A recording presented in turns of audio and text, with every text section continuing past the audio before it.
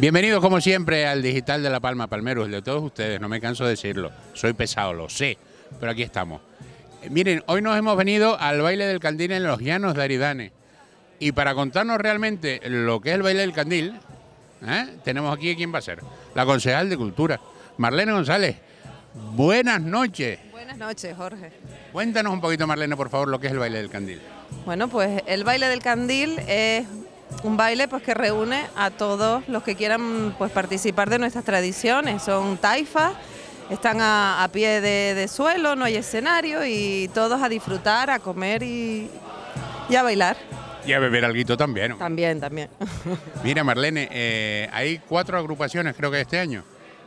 Tenemos la, fortuna de, contar con, aulas municipales que han querido colaborar y a los que desde aquí les agradezco la participación.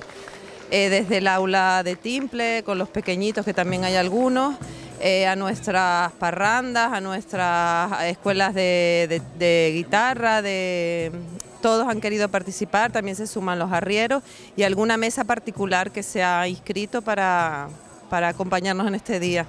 Mira, eh, es tu primer año haciendo el Valle Candil, eso lo tenemos claro. ¿Ya estás pensando en el año que viene? Sí, siempre uno pues, pues da, da la vista alrededor y, se da cuenta de pequeñas cosas que, pueden estar mejor para el año que viene, pero estoy muy contenta. Eh, he vivido pues esta edición, que es la tercera, ha, pues, la he querido recuperar, la última fue en el 2018, pues por motivos diversos se paró pero creo que es algo necesario para nuestra gente y para nuestras tradiciones, sobre todo. Ahora, aparte del baile candil, te lo tengo que preguntar, ¿cómo es posible que haya un cartel de, actos culturales en este municipio, para este mes, por ejemplo, que estamos ya terminando, como el que tiene los llanos de Adrianes? ¿Cómo se consigue eso? Bueno, pues siempre tenemos una programación variada pues hay que, que llegue a todas las edades y a todos los públicos, desde actividades de biblioteca que son fijas todos los meses hasta, hasta pues, conciertos y siempre se consigue que la, el ciudadano tenga que algún sitio al que, al que acudir, un viernes, un sábado, algo pues más intenso, algo más relajado, pero bueno, siempre teniendo en cuenta pues, pues a todo, todos los gustos. ¿eh? Sí, pequeño no es. Marlene, muchísimas gracias. Y solo una cosita más. Antes de terminar, bailaremos, ¿no? Echaremos, echaremos una piecita. Claro que sí. Marlene, muchísimas gracias. Gracias a ti, Jorge. Eh, nosotros estamos empezando, ¿eh?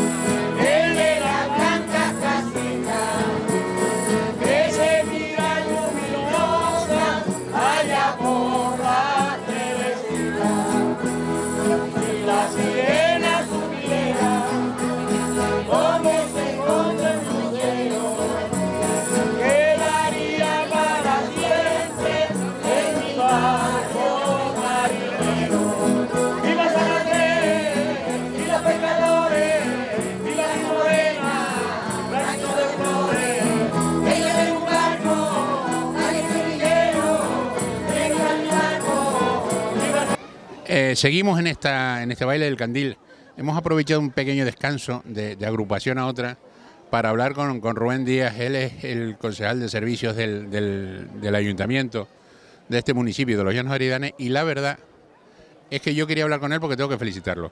Porque esta, este, este baile, esta fiesta de hoy, aparte de ser una gran fiesta, nos da ejemplo y nos enseña cómo se tienen que tratar los residuos sobre todo.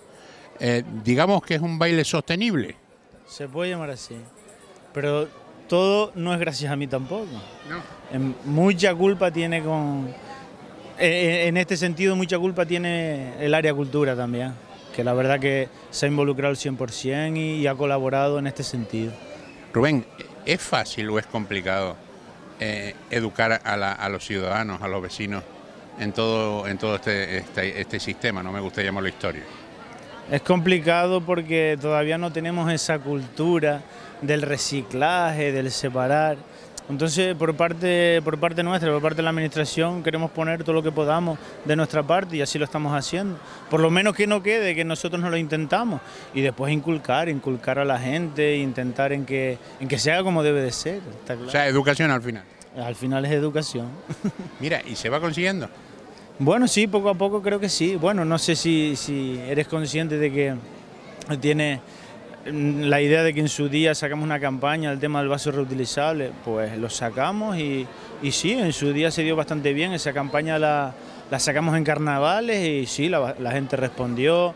Incluso en los contigos al medio se ha seguido insistiendo en este sentido y sí, la verdad que, eh, que la gente se está involucrando y se está notando, sobre todo por la parte que a mí me toca, al día siguiente, después de todo el evento, se ve el resultado y sí, la, basura ha disminuido mucho y se ve que, porque la intención de esto es reducir, porque es la intención. Ya lo de reciclar pues va casi a un segundo plano, hay que intentar reducir los residuos, que es la idea.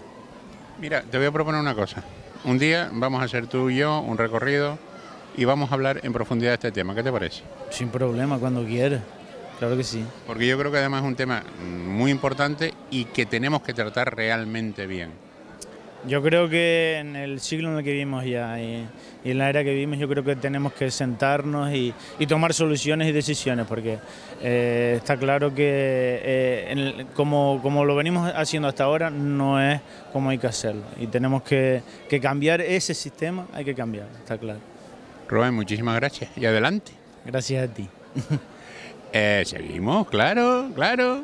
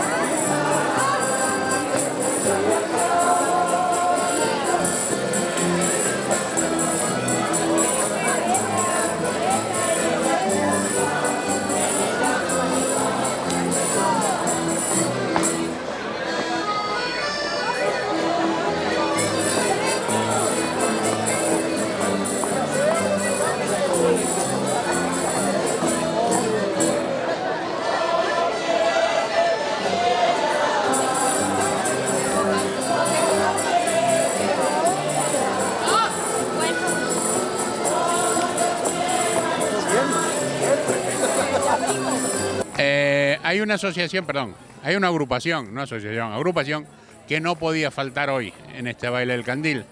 Eh, la agrupación por, que nadie se me ofenda, pero por antonomasia del Valle Heredane. Después hay más, eh, cuidado, por eso, que nadie se me ofenda, eh, la de mi pueblo tampoco. Eh, los arrieros, ¿qué se puede decir de los arrieros? Señor presidente. Buenas noches.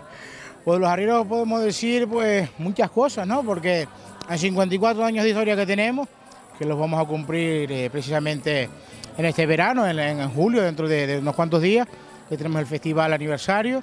Pues 54 años de historia, imagínate todo lo que podemos contar de, una agrupación como Los Arrieros, donde ha pasado tantísima gente, donde han estado involucrados pues, en la recuperación siempre de, temas de temas etnográficos, de temas de, de, sudamericanos. Siempre hemos tocado pues, varios palos de, musicales como folclore, como sudamericano, y ese ha sido pues, nuestro quehacer en estos 54 años. Diego, es la, la más antigua del Valle, ¿verdad? Del, sí, del Valle creo que sí, sí, sí. Nada más del Valle y de la isla junto con, con Tajadre, un par de agrupaciones de la, de la parte allá, como coros y danza, somos de los más antiguos y, de Canarias también. Diego, ¿y qué, qué, expectativas tienen los arrieros ahora mismo? O sea, ¿en qué están trabajando cara a futuro? Pues lo más que me mueve a mí como presidente ahora mismo en los arrieros es recuperar la juventud del grupo. Porque es un problema muy grande que tenemos, yo creo que a nivel, por lo menos insular, lo tenemos porque la isla se está envejeciendo, los grupos se están envejeciendo. yo comentaba precisamente que es un, caballo de batalla que tengo todos los, que en cada reunión que tengo con, el político, decirle, señores, yo soy, tengo 43 años y soy el más joven del grupo, de los más jóvenes del grupo. Entonces hay un problema grande en, ese tipo de cosas. Entonces ese es mi, mi, mi, mi caballo de batalla para conseguir rejuvenecer y involucrar a, las jóvenes, a las jóvenes, a los más jóvenes que vienen detrás y sobre todo que se, que se comprometan y que tengan ese compromiso con nuestra cultura. No es fácil, ¿eh? No es fácil, no es fácil porque también estamos invadidos con esa, con esa cultura que hemos nosotros traído también desde de, tiempos ancestrales de, la música iberoamericana. Pues también, pues ahora más que nunca se está metiendo ese, tipo de música y la Canaria sí se ha echado pues, un poquito al lado. Es una cosa que precisamente hablaba con el consejero de Cultura del, Cabildo de, La Palma, decirle eso, que hay que meternos sobre todo más en, raíz con, la Consejería de Educación y meternos en los colegios. Para que los niños hay que explicarles qué es la cultura canaria, no solo lo, que engloba el deporte y todo lo demás, para coger toda esa, cantera que se interesa, que, crea un interés por todo este tipo de cosas que estamos haciendo nosotros y que vemos que cada vez va menos. Diego, ¿cuántos miembros componen ahora mismo los arrieros? Ahora mismo somos 37 personas, siempre con el cuerpo de baile y la parranda que somos unos 26, más el cuerpo de baile, somos alrededor de unos 37 personas. Pues yo la verdad que no me queda otra cosa que felicitarte por el trabajo que están haciendo, por esa lucha de que no se muera nuestro folclore y que todo este tipo de agrupaciones vaya más y simplemente darte las gracias, Diego. Gracias a ustedes por estar aquí y, y no vuelvo a reivindicar sobre todo que la juventud se comprometa, que esto es bonito, que es, la, nuestra cultura, es lo que nos dan nuestros antepasados y que se metan en, en, el folclore que es muy bonito. Buenas noches. Diego, muchísimas gracias. Gracias a ustedes.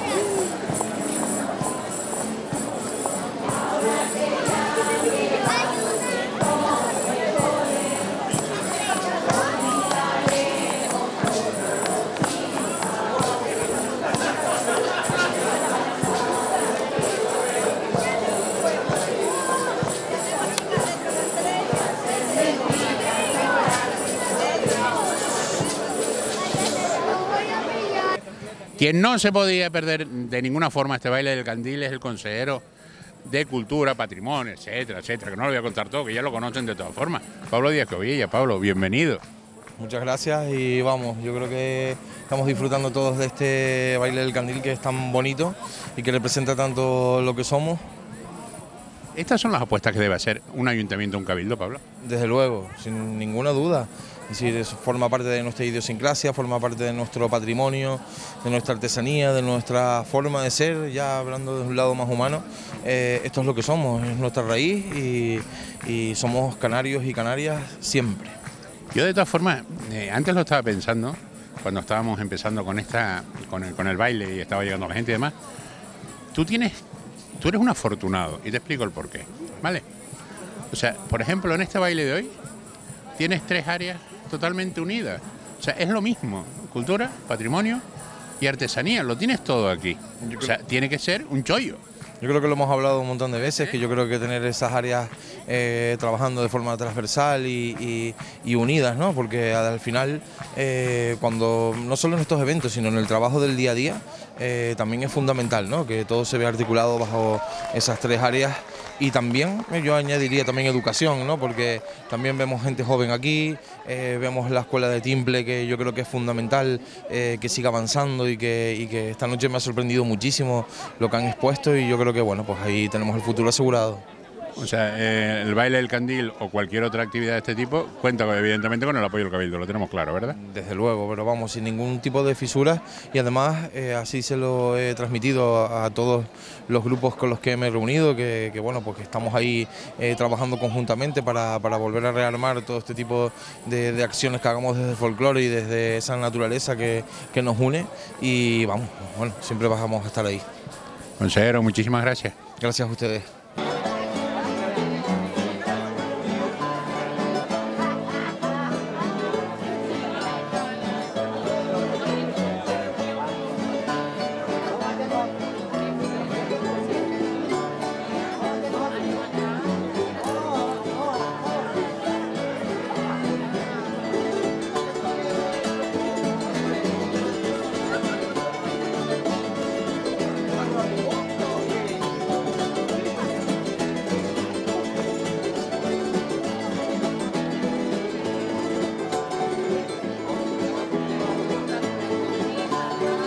Eh, nos encontramos con Adelto Plasencia, él es el coordinador de la Escuela de Folclore de este municipio, de los Llanos Aridanes. Adelto, ¿mucho trabajo? Eh, bueno, sí, y que siga, y que siga el trabajo, porque eso quiere decir que la escuela funciona. ¿Cuántos niños hay en la escuela ahora mismo? Estamos divididos en módulos. Yo, por ejemplo, en el módulo mío infantil tengo 15, luego está Saúl con el módulo de timple que tiene también unos otros 10, 8 o 10, y luego tengo módulos de, de guitarra, de iniciación y adultos, tengo otro módulo de timple de adultos, y luego también llevo la gueldera, Avangare y el grupo de mayores, las camelias, y bueno, dentro de la escuela también está el, aula de... Me, fui con la folía. El aula de, de percusión que la lleva Juan Lorenzo, el, el aula de pulso y púa que la lleva Erika Martín, y bueno, se me queda algo por detrás. Ay, perdón, y el aula de baile que la lleva Melka. Mira, una cosa. ¿Y ha ido subiendo la, la cantidad de, de gente que, que- que asiste a, la- a la- a las diferentes aulas o, o se ha estancado o ha bajado, Adelto? Este año ha subido, eh, este año ha subido, en todos los módulos ha subido y eso es bueno. Ah, pues eh, enhorabuena, no hay otra cosa que decir. Y después, también me gustaría, de las asociaciones de mayores que también trabajas con ellos, ¿qué es más, más reconfortante, los mayores o los niños? Los, los niños son mayores y los mayores son niños. Eh, los mayores tengo las camelias y eh, son gente que, bueno, es muy disciplinada, no te fallan a un ensayo, tienen mucha ilusión y eso, bueno, te da también mucha satisfacción a la hora de ir a ensayar porque están dispuestos siempre para todo. Adelto, muchísimas gracias y como siempre adelante, no a parar, ¿eh? Muchísimas gracias, gracias a ustedes, gracias.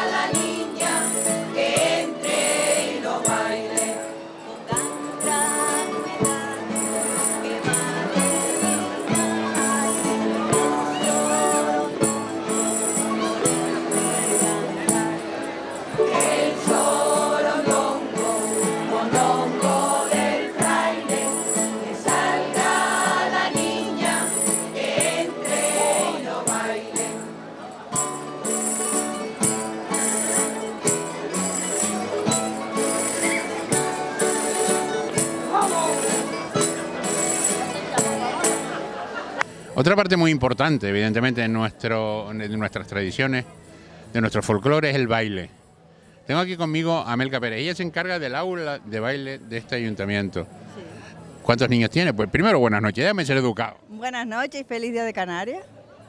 ¿Cuántos niños tienes, Melca? De momento tenemos seis. ¿Y cómo va la...? O sea, ¿se mantiene, se consigue atraer más niños? ¿No se consigue? Mi cara creo que lo dice todo. Ojalá hubiera más padres y madres concienciados de que tenemos que mantener nuestras tradiciones, que esto es un legado que nos han dejado nuestros mayores y que si ellos no lo siguen se va a perder. Hay muchas actividades extraescolares, sabemos que hay muchas actividades, que hay muchas clases particulares, pero gracias a que existe el Día de Canarias, los colegios lo celebran, pero deberíamos fomentar un poquito más que dediquen un ratito de la semana a nuestras cosas, desde a la música, al canto, la décima hasta el baile. Melca, ¿cuánta, ¿cuántas veces en semana eh, se reúnen? Los niños una vez a la semana, una horita. No le, no le causa mayor contratiempo para otras actividades del resto de días. Nos estará invadiendo también, influirá en la invasión que tenemos, evidentemente, de videojuegos, de tablet. O sea, eh, eh, te voy a poner un ejemplo muy sencillo. Yo soy mucho mayor que tú, evidentemente, pero yo recuerdo jugar en la calle. Ahora mismo no hay niños que jueguen en la calle. Exacto. Eh, con la escuela de folclore se puede recuperar eso de la comba, un poco el elástico, se acuerdan todos de los boliches, la canica. Yo también me tendría que poner al día porque hay una época de mí que también se perdió y se dejó de jugar, después se recuperaba, me recuerdo de jugar al trompo con mis primos y mis hermanos. Así que son cosas que, que deberían los abuelos y los padres transmitir a los niños de la casa. Melka, por favor, no se en el empeño, ¿eh? sigue. Sigue. Lo intento, lo intento, pero necesito apoyo de los padres con sus niños. Pues mira, ahí los tiene a todos, ¿eh?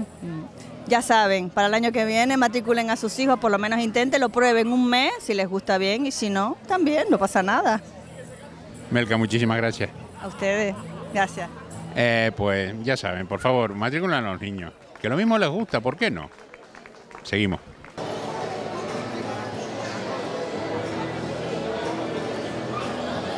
No,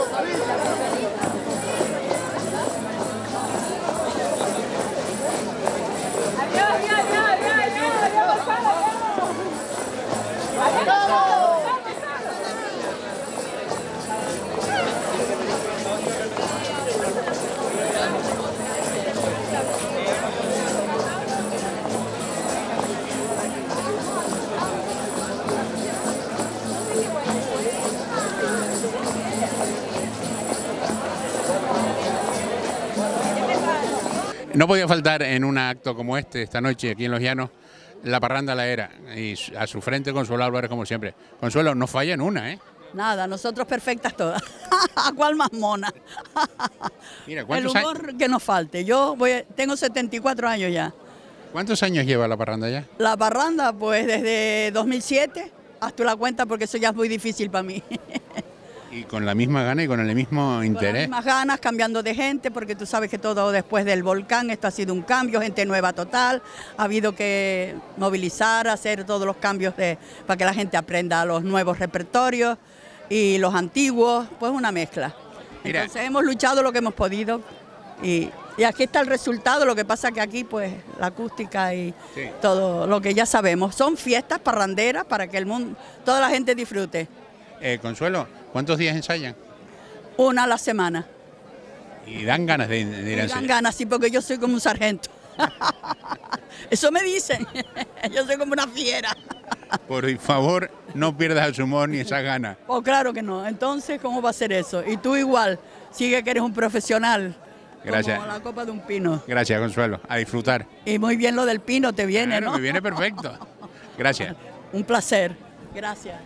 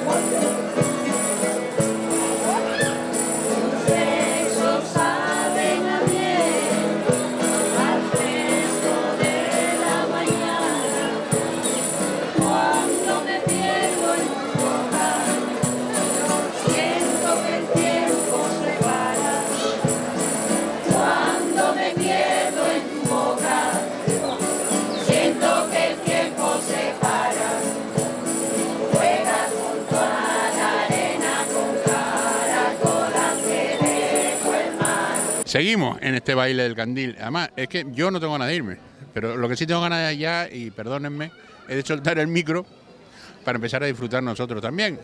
Por eso yo no me quería ir, o sea, no quería despedirme de ustedes de otra forma que no se hagan el alcalde de este municipio, Javier Llama. Bienvenido como siempre. Muy, muy buenas noches, muchas gracias y bienvenido a ti y a, todos los, los, que están viendo el programa aquí a los Llanos de Aridane. Mira, eh, esto está siendo un no parar, la verdad. Baile del Candil que se recupera después de muchos años, con una afluencia de, gente aquí, la verdad es que admirable, magnífica. Mm. Eh, ¿Vamos a seguir así? Yo espero que sí, espero que sí. Hablaba hace un momentito con alguien y me decían, oye, que es que me acuerdo cuando te vi el año, ya, ya hace un año ¿no? que vas a estar ya de alcalde y tal. Digo, sí, se ha hecho largo, ¿no? Digo, no, al revés, se ha hecho muy corto. Y es que, ah, bueno, aparte de todo el trabajo, pues bueno, también te metes, estás metido siempre en muchos eventos. Y, en concreto en este mes y en esta semana y en este día que viene, que es de Canarias, pues es un mes especial.